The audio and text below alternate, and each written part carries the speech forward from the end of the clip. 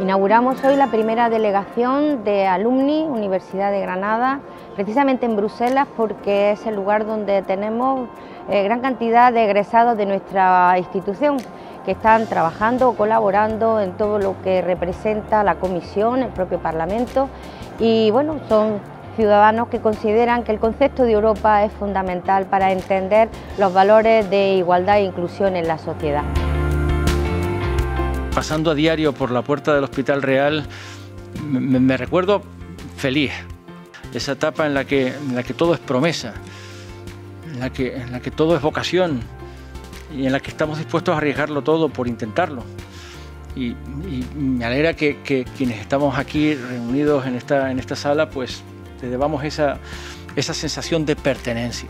La vinculación emocional de una persona con la universidad donde se formó, donde probablemente pasó algunos de sus mejores años y que le permitió iniciar una carrera profesional y perseguir su vocación es una relación muy especial. La experiencia de movilidad internacional crea un vínculo tremendamente importante con la universidad porque es una experiencia de desarrollo personal muy importante.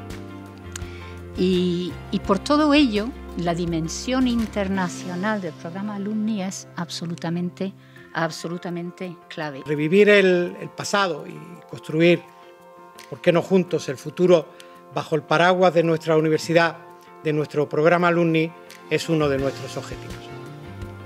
Personalmente hoy, y Tirán lo sabe, también me embarga la emoción al ver cómo nuestra comunidad es ya una realidad y vemos eh, cumplido el deseo de seguir siendo UGR por siempre.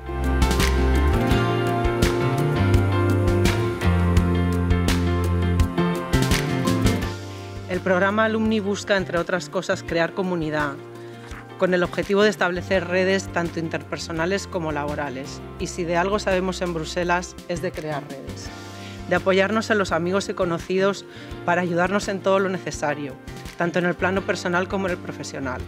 Es un programa para todos los que pasamos por la aula de nuestra Universidad de Granada, en cualquiera de sus perfiles, amigo, egresado, mundi, de todos los que llevamos la marca de nuestra institución de la cual presumimos. La universidad está para formar a los profesionales del futuro, ¿cierto? Es el compromiso social, es el compromiso importante que tenemos, pero tenemos un compromiso ético y moral mucho más importante.